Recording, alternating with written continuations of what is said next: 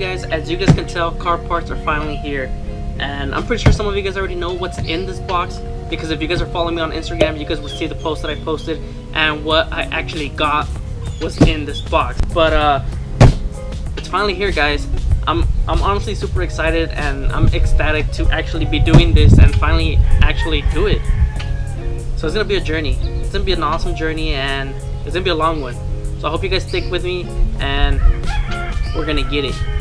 So let's get it. So before we get into actually opening the box and showing you guys what I actually got, um, I'm not really expecting this part to fit on my car since it's not meant for my car. So I don't really technically expect it to actually fit really perfect. When I bought this, I didn't take into consideration where the gas tank was on the FRS because on the TC, as you guys can tell, it's on the left side. And I saw an FRS the other day after I had already bought this product and I noticed that it was on the right side. So I already know there's gonna be already gonna be one flaw with it. So just with that, I'm pretty sure I'm giving it away on what what's in this box and what I got. Unless you guys are following me on Instagram, like I said, uh, you guys already would know what's in this box.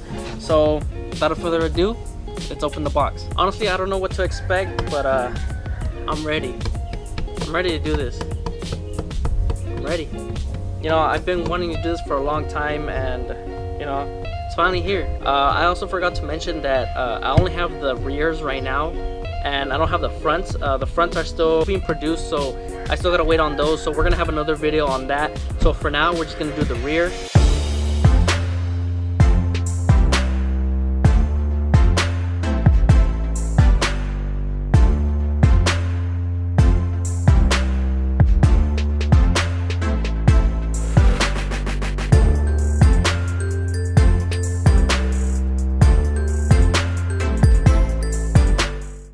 Oh, and also these are not ABS plastic. These are actually FRP reinforced fiberglass with plastic.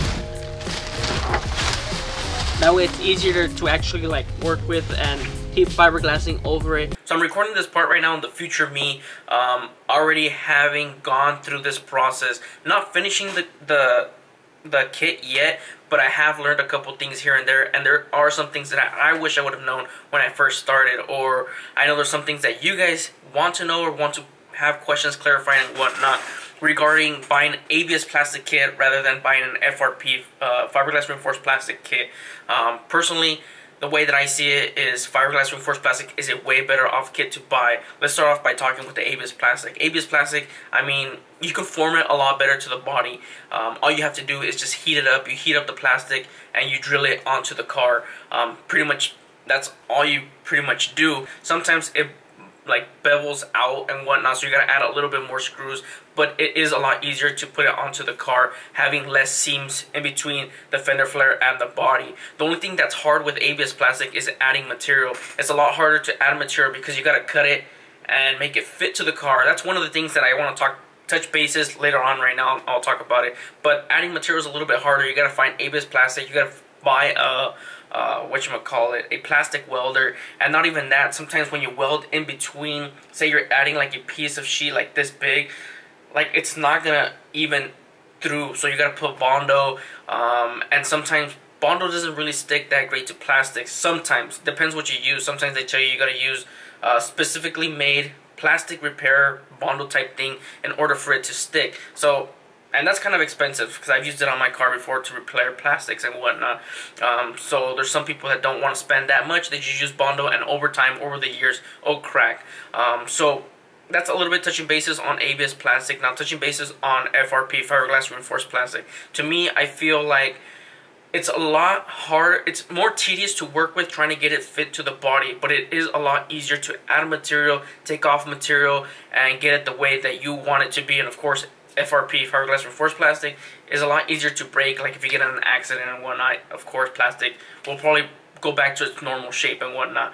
But uh, yeah, I mean, FRP is a lot easier to work with. It's just tedious with time. To this day, I've seen a couple people try and use ABS plastic. That's mostly what I see being done now is ABS plastic. They don't really want to go with the fiberglass because it'll crack with them trying to screw it onto the body because that's what everybody wants to do. They want the finished product as quick as possible. They buy the ABS plastic, they screw it onto the car with no, they heat it up, screw it onto the car, no pressure needed. Um, it's not gonna crack because it's plastic. So all you gotta do is heat it and screw it on. And like the ones that I've seen that they try to just bolt it onto the car using as many screws as possible or trying to use the screws where it's actually meant to go. There's some bevel points onto the fender flare between the fender flare and the body. There are like some small little gaps which it doesn't I guess it doesn't bother them. To me it bothers me. I like it to be super tight, the fitment perfect, like no gaps at all, which is why I went with fiberglass reinforced plastic. And from I mean most of them too when you see them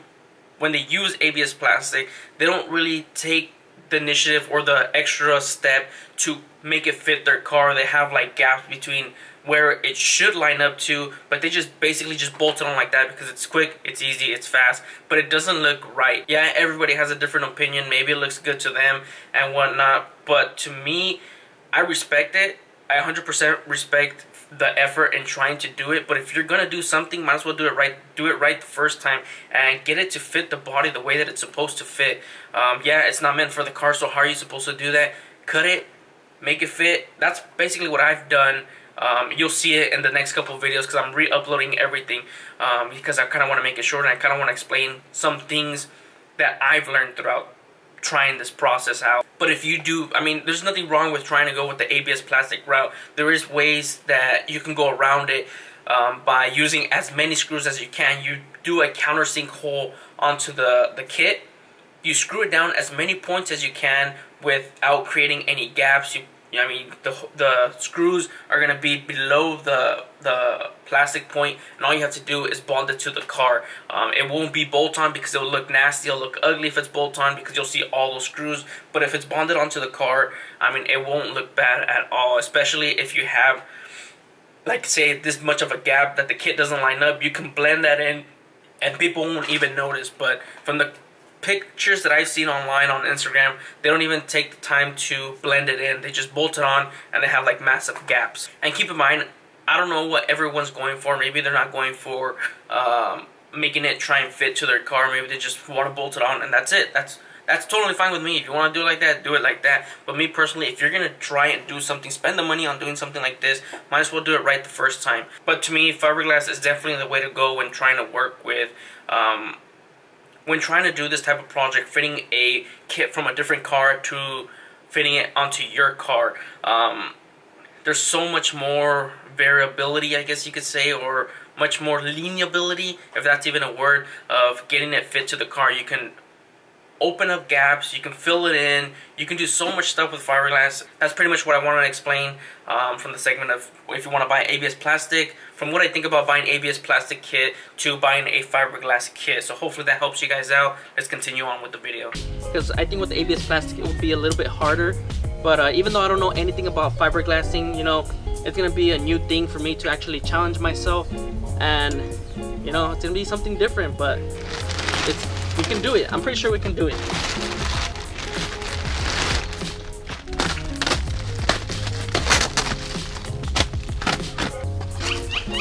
So I guess these are the ends. And these are the actual fender flares. Woo! I'm guessing this is the this is the left side which like I said the left side is supposed to have uh, the hole for the for the fuel cap for the TC it's on the left side. So this is the left side so I guess the right side is gonna have the fuel cap for the FRS so that's something we're gonna have to work with already like I was saying. Uh, here we go. Here's the right side. Honestly they don't look really that bad. They're pretty nice Ooh, flaw right here. It's broken right here. So I'm guessing there's a piece. Yep. So I guess they chipped it or it came broken on the shipping or I don't know, but it's broken. So I guess that's something we're gonna have to fix, fiberglass over it. So I'm actually super excited. So you know what we gotta do? We're gonna have to put these on the car right now. Just hold them up with tape just to see how it looks like. So let's go put them on. So we're gonna start off on the left side on the TC. And before I actually put it on the car, I'm just gonna tape up around the edges just so I don't scratch my car. So I'm just gonna tape it up all around here. Make sure you lay that bubble wrap. Major key. Major key to success right here bubble wrap. Wrong side. Oh, I didn't even notice this right now. So it looks like this one's actually coming off a little bit. It's, it wants to break, but it's not really that broken that much. So that's not really big of a deal. This one you can just bondo it. Uh, fiberglass it a little bit, then bondo it. So that's not bad. But another imperfection right there. Uh, so let's tape it up. So it's all taped up already and it's finally time to put on the car for the first time just to see what we're gonna have to cut, what we're gonna have to work with, and how much work we're gonna have to do. Let's put it up. First time putting it on the car, guys.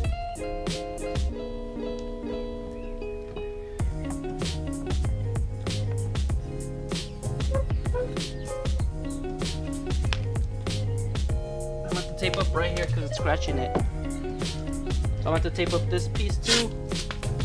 One piece. Now it's finally time to put it on the car. So I'm gonna try to line up this this piece little bit close to where the side skirt starts, just to kind of get an estimate of where it should go.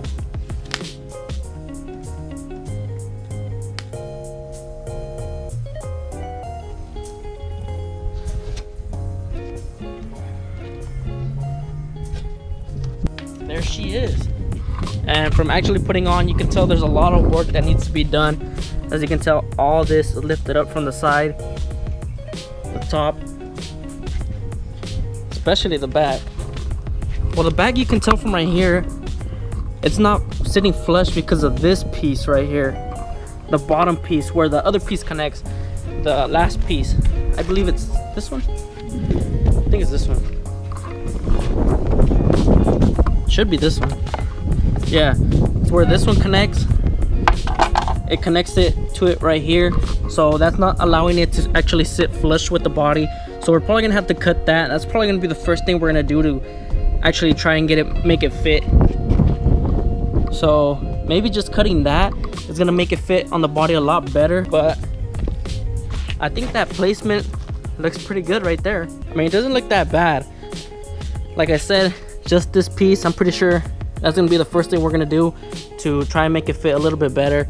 But for now we're just seeing how it's actually gonna fit right now and what kind of work we're gonna have to do. Check the bottom. The bottom looks fine. Mm, looks pretty good to be honest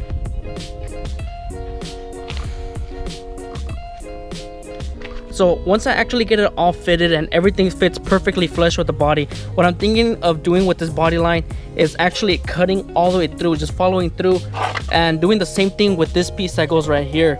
Uh, trying to make it fit with this, with the groove that it has on the bumper because I can tell that it's gonna overlap it. So we're gonna try and make something fit so it fits with the body and the body lines itself. So that's the left side time to go to the right side. I also forgot to mention the fuel cap. So as you can tell, uh, the left one doesn't have the fuel cap door on it. The right one actually has it because the FRS has it on the right side and the TC has it on the left side. So I can tell what we're gonna do is probably just take off the fuel cap and just try to cut along the groove. So it's just gonna have like a, a cut to it. So that's not really that bad uh, how it sits on the fuel cap. Uh, I thought it would be worse. I thought you were gonna have to cut like a hole inside here, but it's not really that bad. It's gonna be like not even half a circle. So that's not that bad. So now it's actually moved to the right side. So it's time to put the right side up. And guys, I apologize for this blur that's right here. I freaking dropped the camera right now and it has a chip right there. So I don't have a backup camera. So we're just gonna finish up this video. See how this one's gonna fit.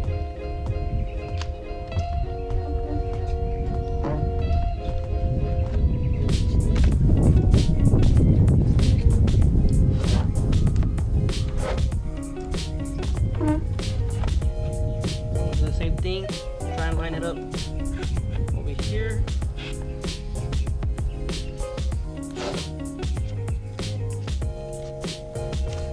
That one's up.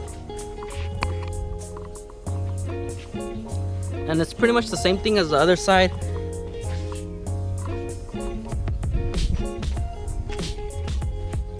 Same thing, it's hitting right here on this piece that's down here. So that's not allowing it to sit actually flush flush. So that's gonna have to be trimmed down like I said on the other side. And this hole, what are we gonna do with this hole? So most likely we're probably gonna fiberglass the back and then just fill up the whole thing with Bondo. So that's what I have planned for that hole for now. But overall, it looks pretty good. I'm super excited for this project because it's gonna be it's gonna be amazing. It's gonna be honestly something incredible.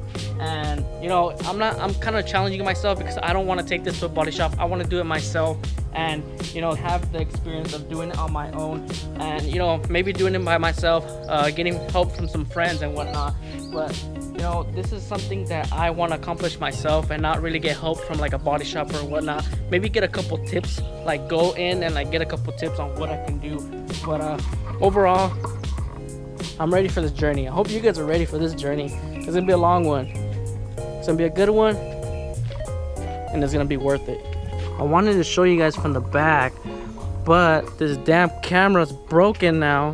Freaking lens chip.